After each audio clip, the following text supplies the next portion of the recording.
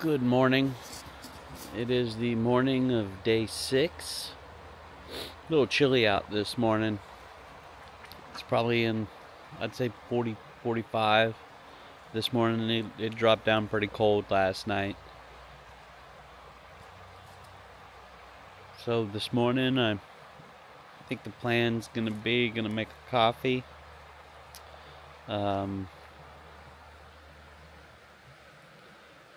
don't think I'm going to check the trail cam yet.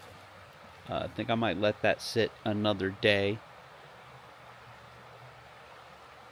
Just so if any any of our scents or anything are on that path and they didn't go down because of that, then figure giving an extra day will be alright. So we'll probably go hiking down the original path that her and I went down. Uh, my stomach's feeling much better today. So that's that's a good thing. I'm finally finally feel like I'm back to normal. Eating last night definitely helped. I, I feel like I have energy. I don't feel as as drained as I did yesterday. But yeah, I'm gonna get Koko her cookies their morning treat that she's so ready for. Um, and we'll go from there. Drink my coffee down by the river, as I do pretty much every morning. And, uh, and yeah, we'll see where the day takes us. All right, see you at some point. I every morning I you know make my make my bed and clean Morty out from the night before that type of thing. And without fail every morning the second that I am done making the bed and sweeping out the the carpet in there and everything this one decides to jump in on there with her dirty feet. I, I just swept I, I just I just did this. What what are you, what are you doing to me, dog? Oh, it's all right. You're a good girl. I love that Koko Bear. I'm talking about you, old cockhead. What are you, what are you doing? Huh? Who are you doing? I don't think you can cock your head anymore. I don't think you can cock your head anymore.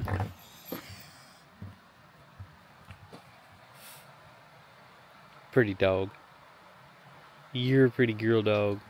Yeah, you're my baby. Oh, her wants some loving.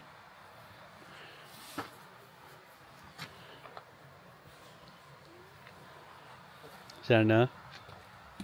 Yeah, that was enough for you? Alright, you go get your bear. She can go suckle her bear for a little bit. Alright, I just had to share that. Whether it makes it in the video or not, I don't know. But that's my Koko.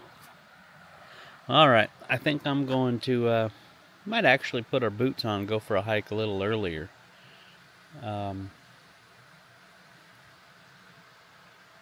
seeing as this day six out here, pretty much sat and listened to it as long as, uh, you know, not that I'm getting tired of it. Not by any stretch of the imagination. I could do this every day for the rest of my life. But I think, uh, yeah, go on an earlier hike, go on a morning hike, and maybe we can go on one this afternoon. Maybe try and find a different trail or go do some exploring or something. We'll figure something out. Or just take a nap. I mean, that hammock.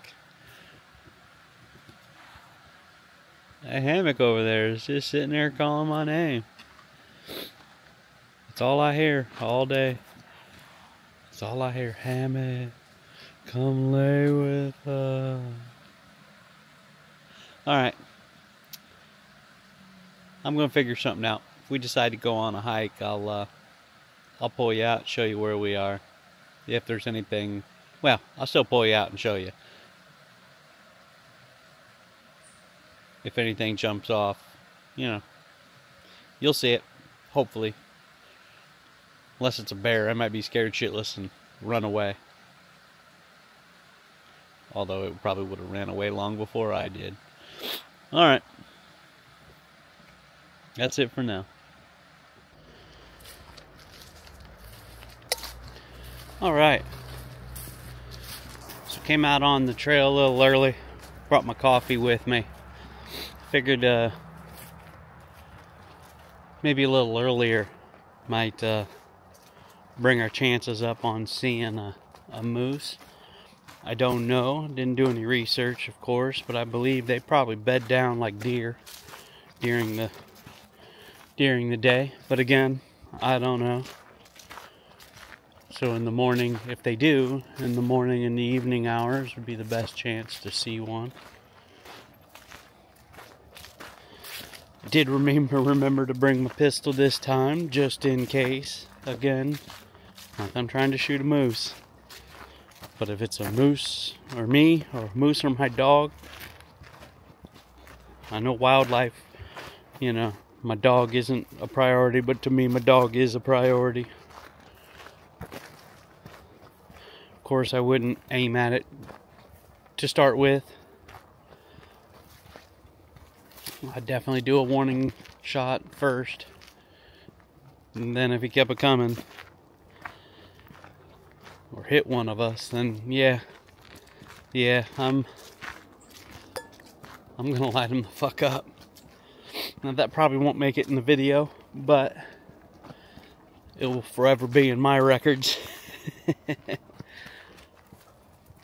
it's a beautiful trail though. Let me flip it around here for you. Oh. Koko marks it as hers. Well, any moose out here, they, they better know. It's this this Koko's now. At least that spot is back there.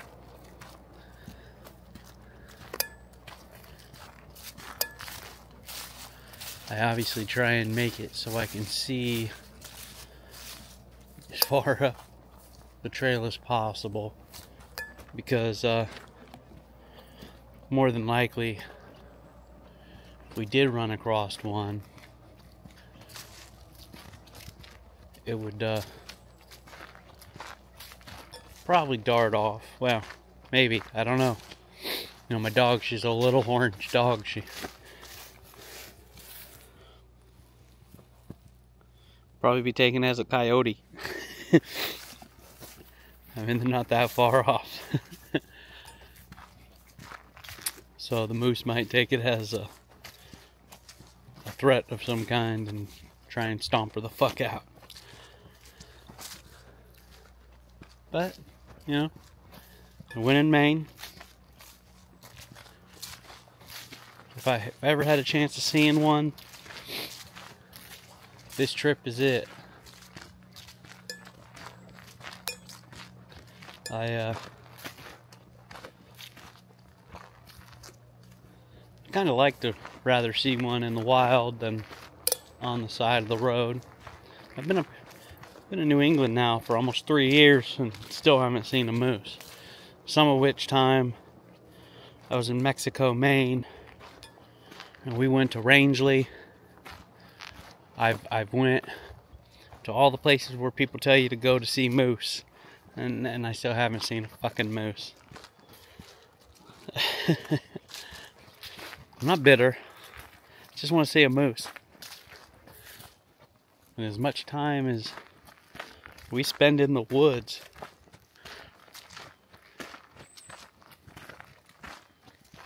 granted, I don't think there's a large moose population by the house. I mean, we are out in the woods, but I'm not saying there's not any out there. It's just not a large population, would be my guess. Those are definitely some fresh tracks.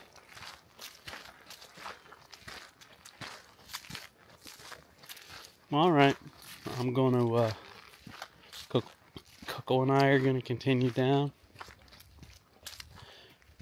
If I see anything, I'll definitely say something. I do have my meta shades on, so if I can only get a quick, quick glimpse of it, I'll try and capture it on that first before I reach through in my pocket and grab this fucker out. Alright, we're gonna continue on. It's uh this trail's about three miles.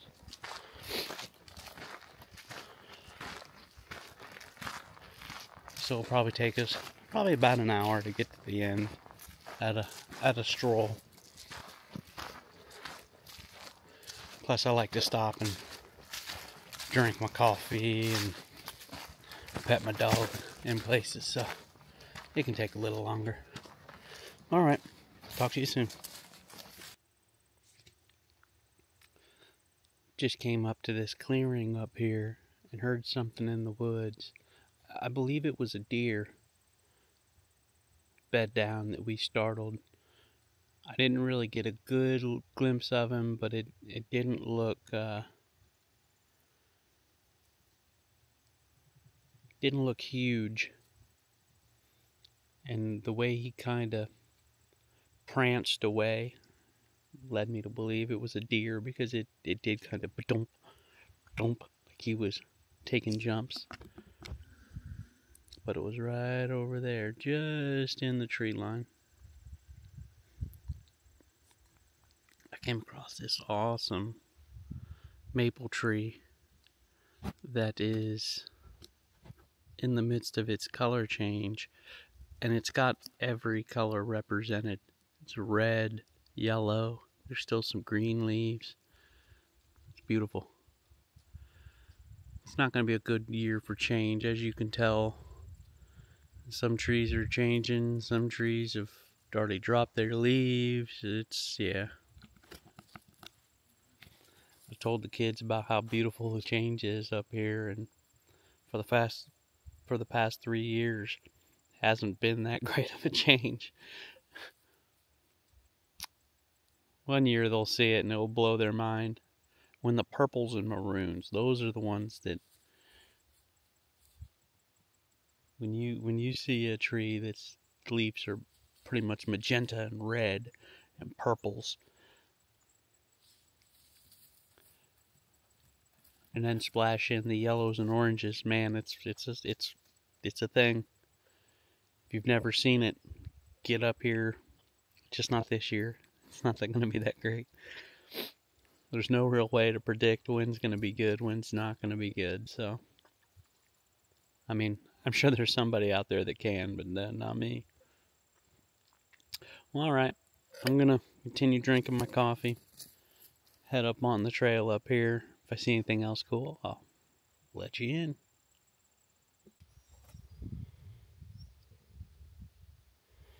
All right. Coconut made it to the end here. I mean, onX does show that it continues on. It actually shows that it wise up here. I mean, you can see it does look like it kind of goes on here. It's just really well overgrown.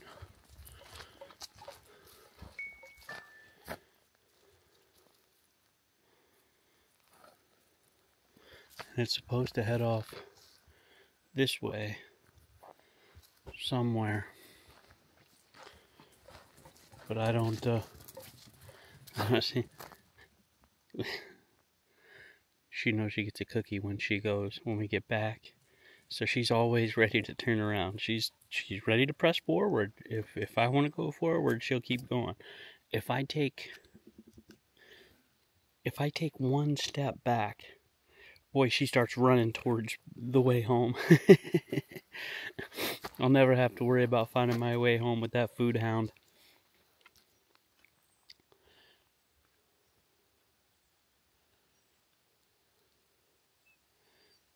So I think we're going to sit here and soak up the sounds for a few minutes.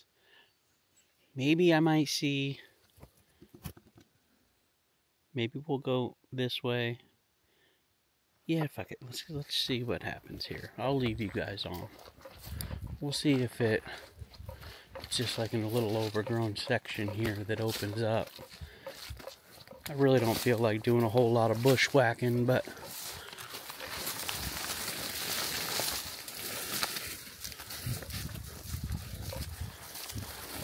I mean, this is definitely the way it continues.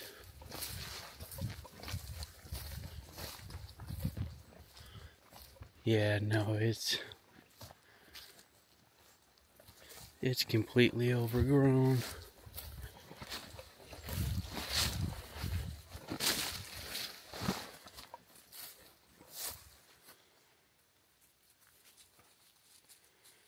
Actually looks like there's some rocks there to stop people from continuing on and it's all overgrown.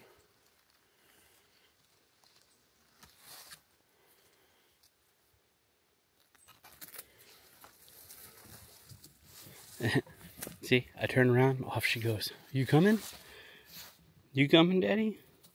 Is it time or are we coming? Okay, let's go.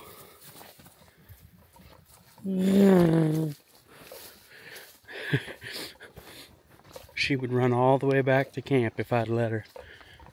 Well, no, she wouldn't. She, she's got to come up and say, "You coming? You coming?" All right.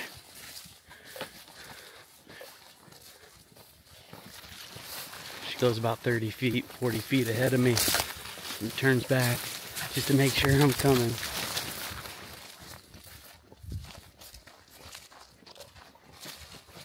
Sometimes she'll tag up. Let's see. If she, yep. Come on.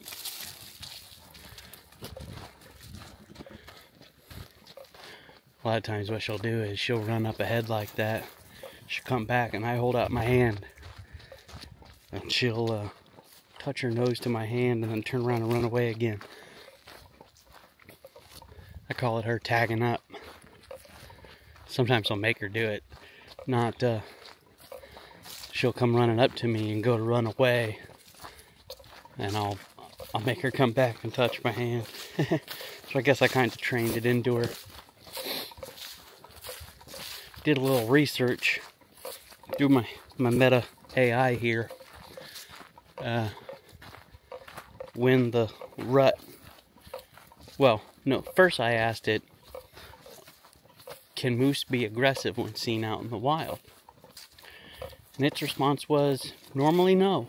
Normally they're, you know, unless you startle them or they fear that they are in danger.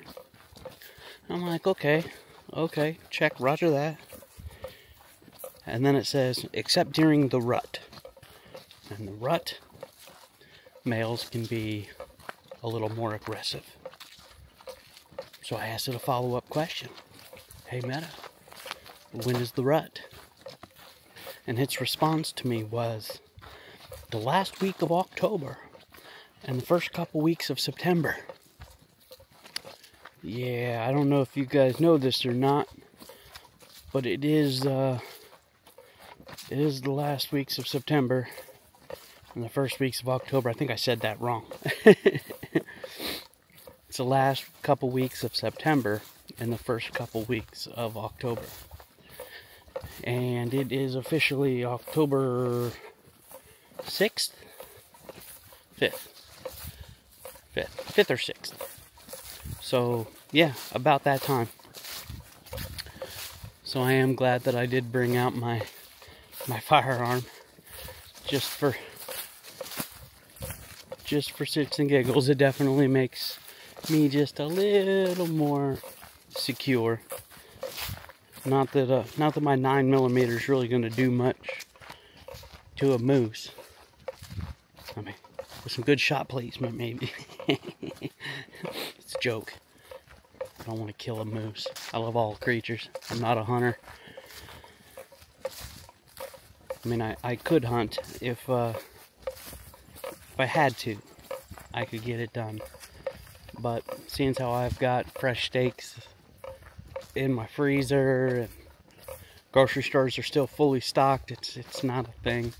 I, I have considered maybe going out hunting and getting a deer and then uh, I know this is gonna piss some hunters off, but feed the meat to my dogs. You know, I uh, I don't care for venison. Um, I've had it a couple times. I have had it good, where you know, um, Hunter had given us some backstrap that we sliced real thin and turned into a, a stir fry. You know, which, you know, if you put enough sugary stuff and enough sauce on anything, it will come out bad, good. But, you know, I like just putting salt, pepper, and butter on my meat. and it just tastes anybody that's had it knows what I mean. It's it's just it's gamey and it's not it's not my cup of tea. So but if I could get out and hunt and maybe uh you know shave a few hundred dollars a year off buying meat for my dogs, eh, and trust me, my chow hound won't mind. She'll eat anything.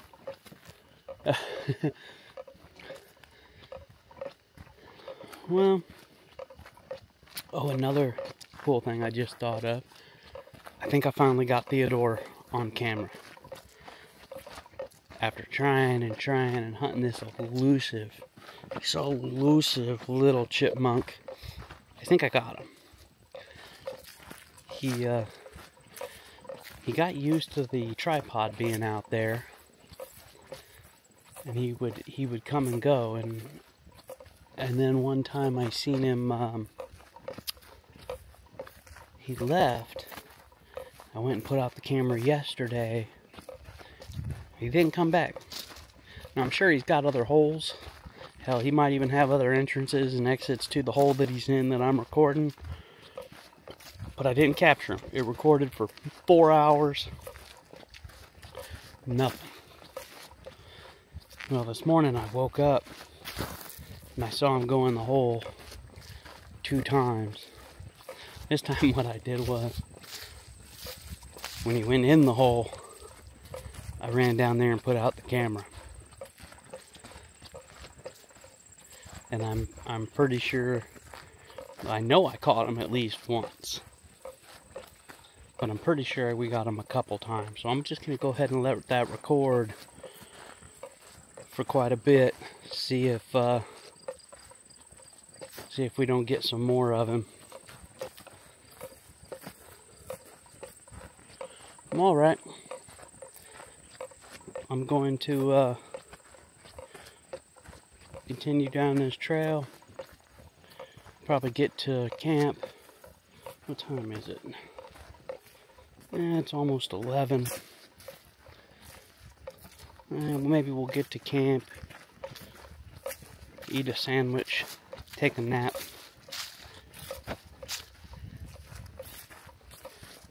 Maybe just hang out. I wish I would have brought a book. I don't I don't know why I didn't bring a freaking book. It's one of the things I love to do while I'm out in the woods sit back on my hammock, read a book. I'm such a knucklehead. And I know, I know, I've got LTE service. I could download a book.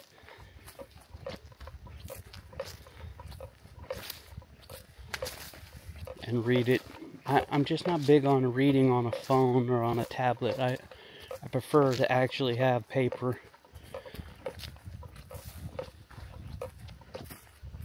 Guess I'm old fashioned. This new age Fandangle technology.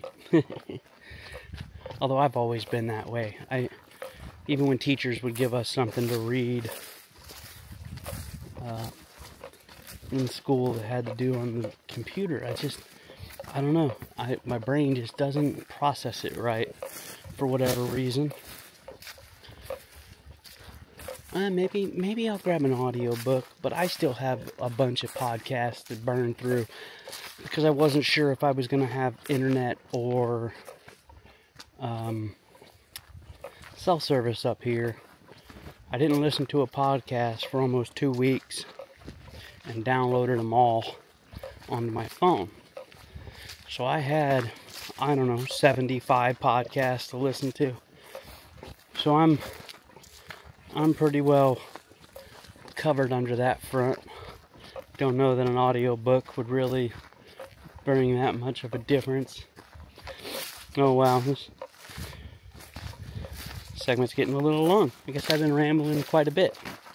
Alright, we're gonna head back to camp. Um, Koko just stopped and took a peek up here at something pretty hard. I don't know if she got a whiff of something or she didn't sound off, she didn't bark, so she didn't see anything, although she's partially blind, so she probably doesn't see much of anything. It's so funny at night. Koko does not really care to be out of the camper. She, uh,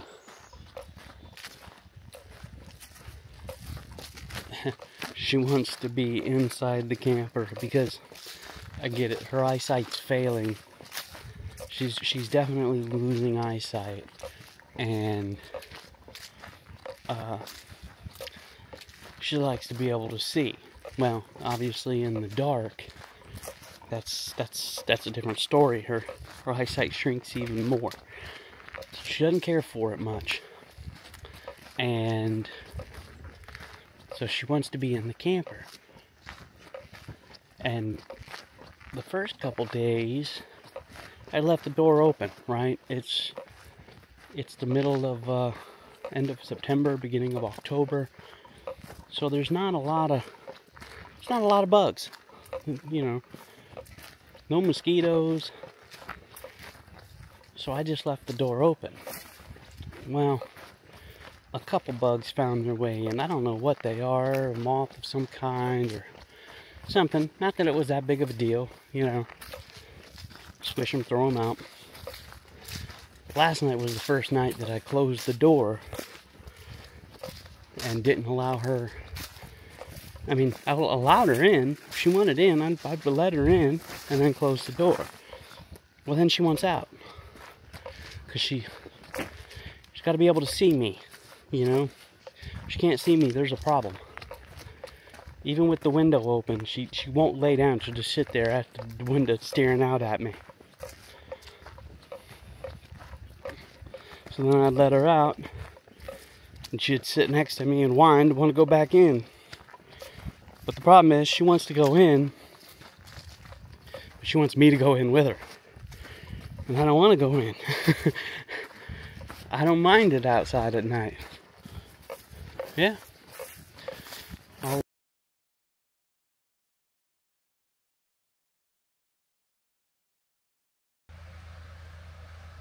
Going on? So I come over here to Morty to grab my hoodie. It's getting a little chilly.